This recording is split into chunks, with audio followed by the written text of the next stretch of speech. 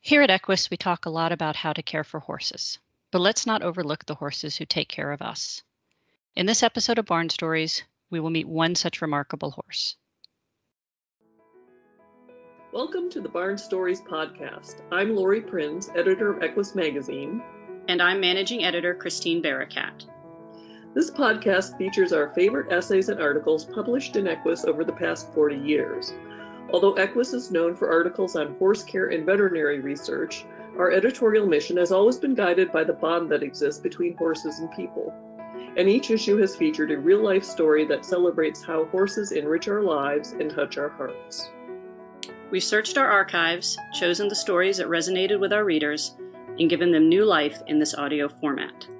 Longtime subscribers may recognize some of their favorite pieces. And if you're new to the Equus community, these stories will confirm that no matter what sort of saddle you sit in, a deep emotional connection to horses is something we all share. This episode of Barn Stories tells the tale of a horse named Frosty, his owner Dale, and their extraordinary relationship. If a strong partnership is built on each half offering the other what they need most, Frosty and Dale are a duo for the ages. Frosty helped Dale regain his mobility after a stroke, and then, when the gelding had his own challenges, Dale stuck by his trusted friend and found a way to sustain and even strengthen their very special bond. I like this story because it's told by a photographer, someone who's trained to observe from a distance. This photographer, however, cannot help but be profoundly touched by the connection she sees Frosty and Dale develop, and the experience enriches the relationship she has with her own horses. There's just so much to love about this story. I agree. It's incredibly uplifting. So let's listen to The Power of Two, written by Linda Gordon and read by Taylor Autumn.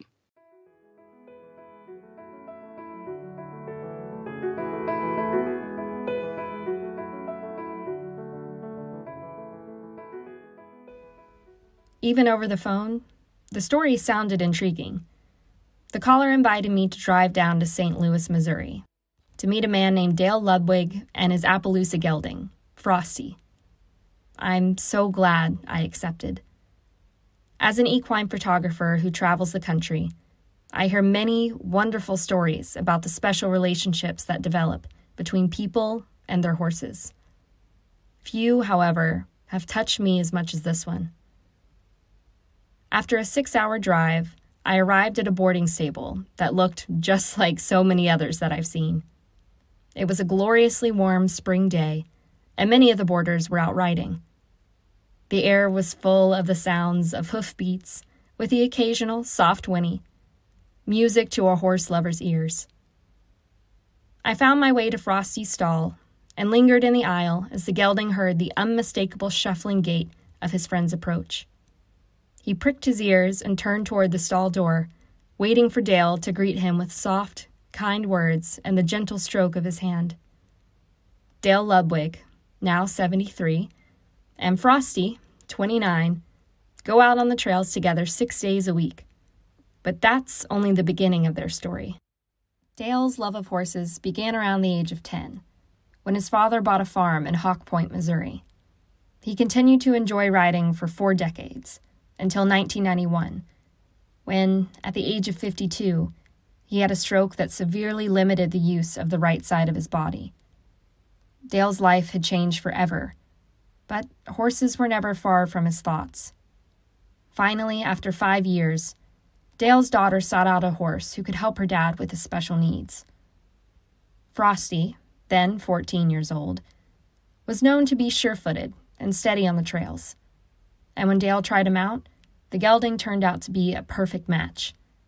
As Dale's daughter told me, Frosty seemed to know that Dad needed special care and compensated for his limited mobility.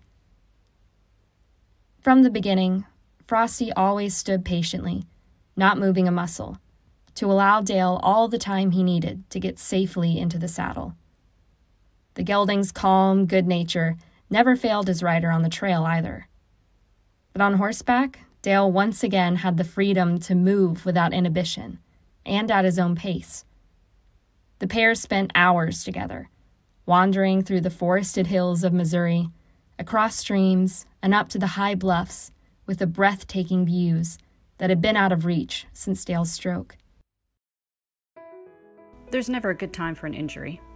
Accidents happen, and your horse deserves the best care today science can provide. With PuriShield products, you'll be prepared to face cuts, scratches, burns, skin irritations, and more head on. The PuriShield wound care regimen cleans, treats, and protects, ensuring the next time your horse has an injury or skin irritation, you'll be confident you have the best wound care products at hand. To learn more, visit farnampurishield.com, and you'll never look at wound care the same way. For a time, Dale and Frosty joined a group of riders who called themselves the Wild Bunch. They were a rambunctious lot who enjoyed their fast paced jaunts over the countryside.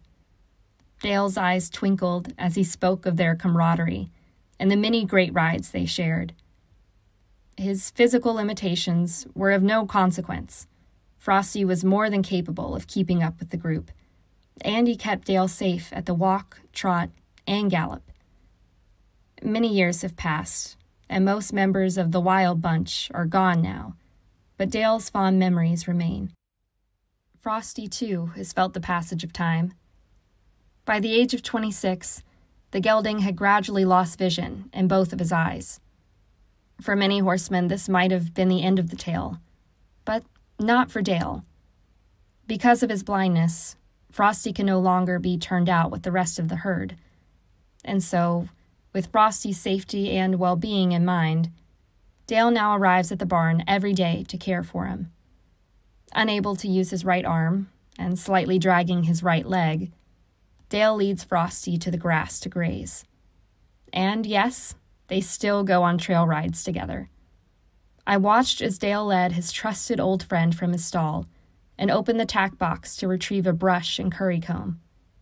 He spoke to Frosty in a soft voice as the brush gently slid over the sleek coat to remove bits of shavings. Then, with tack in his left hand and his right arm pressed to his side, in one swift motion, Dale placed the saddle pad and then the saddle on Frosty's back. The gelding lowered his head to accept the bridle, and in moments the two were ready to head for the trails, as they have done for years. I depend on his legs and he depends on my eyes, Dale told me, making a slow and deliberate effort to speak. Love, loyalty, such simple words seem inadequate when describing the bond between this man and this horse. The profound sense of trust these two friends have in one another is nothing short of miraculous. We said our goodbyes, and the pair headed toward the trail. As I watched them go, I stood in awe as I realized that I only saw the steady, confident gait of a healthy horse and the relaxed, balanced seat of a rider with years of experience. There was no visible sign that either of them was physically challenged. Frosty picked up a slow, steady trot, and they disappeared into the woods. When I pulled into my drive at home, I stopped at the barn before going into the house. I went to the gate and whistled, and my own horses, Tammy and Toby, came running, sliding to a stop in front of me, brimming with youthful exuberance. As they looked at me with their soft brown eyes, all the emotions of the day came pouring out at once. Through tears, I smiled with gratitude for the relationship I have built with my horses over the years and I was filled with appreciation for all of our good health. And I now have a fresh perspective on my own travels in life.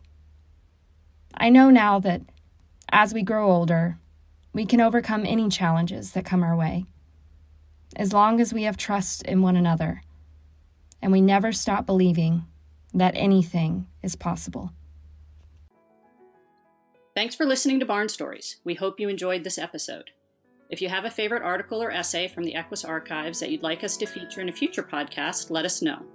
You can reach us at Equus Barn Stories, all one word, at gmail.com.